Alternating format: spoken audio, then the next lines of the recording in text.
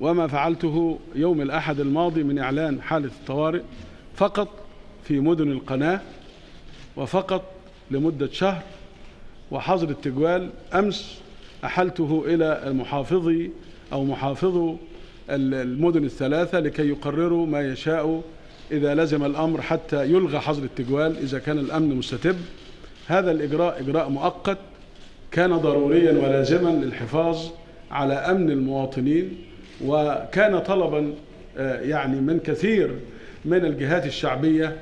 والتنفيذية الموجودة في هذه المدن الثلاث في السويس والإسماعيلية وبورسعيد ولكنه إجراء مؤقت جدا.